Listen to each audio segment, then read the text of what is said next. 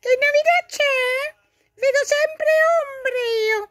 Ombre, come mai queste ombre? Eh, perché le ombre sono importanti. Allora, oggi vi racconto una nuova favola. Vi racconto una nuova favola. Indovinate come si chiama questa favola?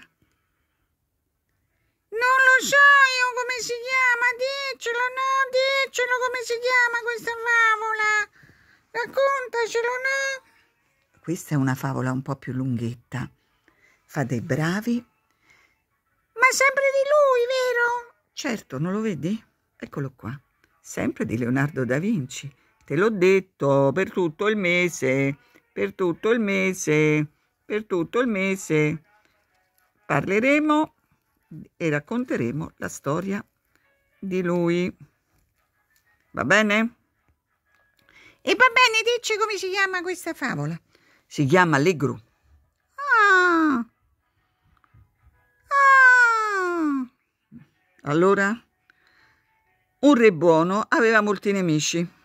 Le gru, sue fedeli e leali guardie stavano in pensiero per lui, specialmente di notte, quando le difese sono più deboli e i nemici potrebbero entrare a palazzo. Che fare? si chiesero. Eh, che fare?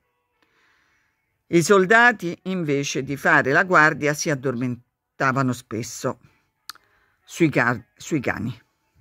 Sempre a caccia e sempre stanchi, non c'è da fare alcun affidamento. Tocca a noi sorvegliare il palazzo, pensavano le cruri, e far dormire al nostro re sonni tranquilli. Ah, però che brave queste gru! Mica tutti hanno questi, questi amici come, come loro, come le gru, proprio bravi. Tu che ne pensi? Eh, ne penso che, che meno male, che meno male che ci sono questi amici che ti fanno dormire sogni tranquilli, perché mica tutti, mica ti puoi fidare di tutti di solito, sai? Eh, ne succedono di cose con gli amici. Perché a te ti è successo qualcosa? No, io sono tutti amici sinceri, sincerissimi, con tutte le stelline che ho regalato negli anni. Adesso regalo bacchette, ma una volta regalavo stelline come queste, vedi? Vabbè, allora seguita la favola.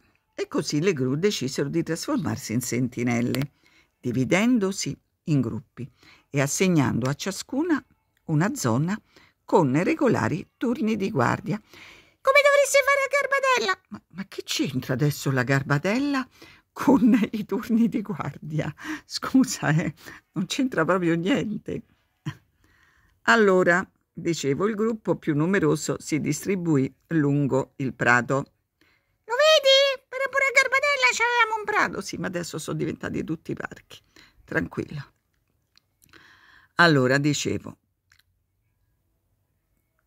un gruppo si mise davanti alle porte dell'ingresso, un terzo infine decise di stabilirsi davanti alla camera del re per sorvegliarlo meglio. Mm? E poi? E se ci prende il sonno? domandò una delle gru. Contro il sonno, rispose la gru più anziana, stringeremo tutte quante un sasso col piede che teniamo alzato quando stiamo ferme. Se qualcuna di noi si addormenta, il sasso cadrebbe per terra e con il suo rumore ci sveglierebbe. Sveglierebbe chi si è addormentata. Non pensi che possa essere così? Da quel giorno le gru fanno la guardia al re e nessuna ancora ha lasciato cadere il suo sasso. E perché vedo quella mano? Eh, vedi quella mano magica?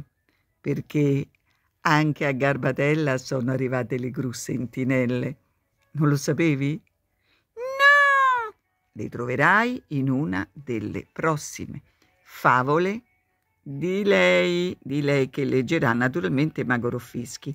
Ma queste per ora sono le favole di lui. E allora mi vuoi dire qual è la... la... La morale? Sì, la morale è quando si vuole fortemente una cosa la si può ottenere con la forza della volontà. Capito, la forza della volontà! La forza della volontà!